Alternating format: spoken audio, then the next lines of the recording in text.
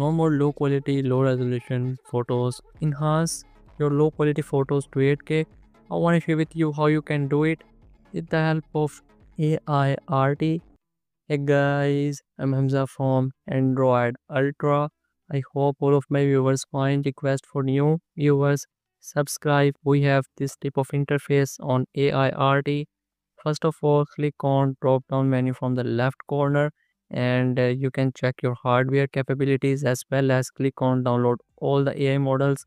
This way your experience is going to be much better and smoother. So from the right side, we have the AI models and the photo preview on the top.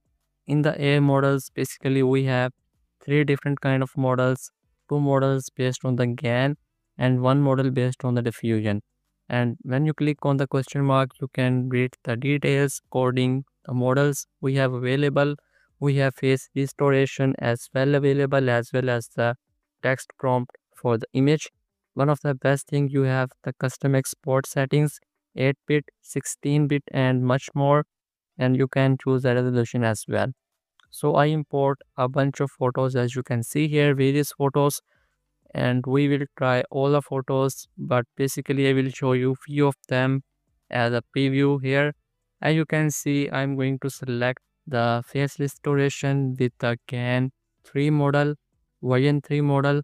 Click on start. This will take some time and i don't know why but this software utilizing my cpu instead of gpu but still it takes one to two minutes.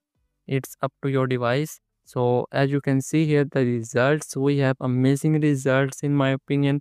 I tested even remini on this photo and a lot of good photo enhancers struggling on the previous photo. So coming on this photo as you can see here this is ai generated photo from the original resolution from the top left side. We have the resolution as well as we have an option to check the before and after preview by the slider or the side by side as you can see here. This time this photo enhancer does the great job in my opinion. You can see here the details on the petals on the leaves. This is next level. This time i again tried out the ai models. Moving on the next photo we have ai generated portrait photo of women.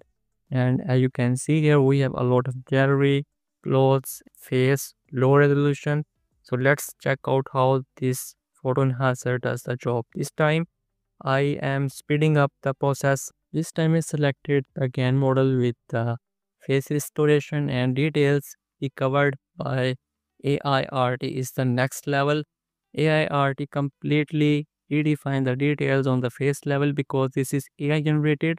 Now eyes looks much better and overall details recovered is brilliant in my opinion, really sharp. And I noticed this photo enhancer does a great job on low resolution photos compared to already good resolution. So this is a conclusion about this photo enhancer. Further, I try out multiple photos. So here is the side by side comparison. Check it out and let me know what you think about it.